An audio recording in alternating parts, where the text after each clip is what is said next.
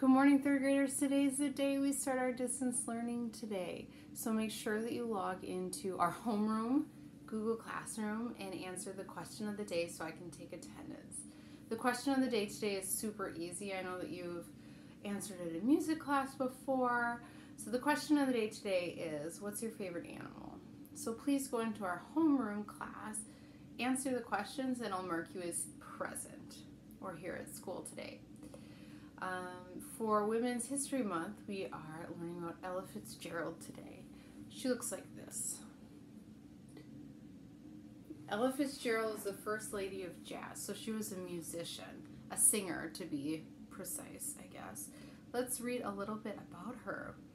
Ella Fitzgerald, known as the First Lady of Song, and Lady Ella, was an immensely popular American jazz and song vocalist who interpreted much of the great American songbook.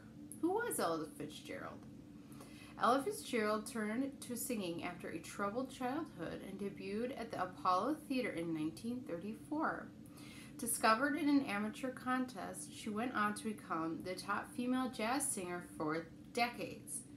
In 1958, Fitzgerald made history as the first African American woman to win a Grammy Award. Due in no small part to her vocal quality, with lucid intonation and a broad range, the singer would go on to win 13 Grammys in total and sell more than 40 million albums. Her multi volume songbooks on Verve Records are among America's recording treasures. She was born in 1917, Newport News, Virginia. She was the product of a common law marriage between William Fitzgerald and Temperance Tempe Williams Fitzgerald.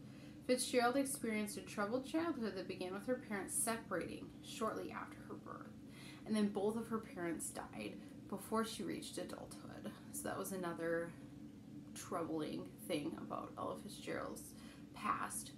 Um, another interesting thing, an important thing about Ella Fitzgerald was it said that she debuted at the Apollo Theater in 1934.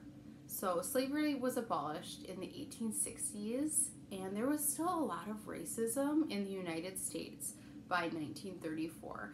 And an important thing about Ella Fitzgerald is that she really brought white people and African Americans of the time together because they all really loved her music. So her music brought people together, people who usually wouldn't mix during that time period. So Ella is really significant and a cool woman to learn about. Again, make sure that you log into our classrooms, Google Classroom, homeroom, and answer the question, what is your favorite animal? And I'll talk to you guys later. Bye.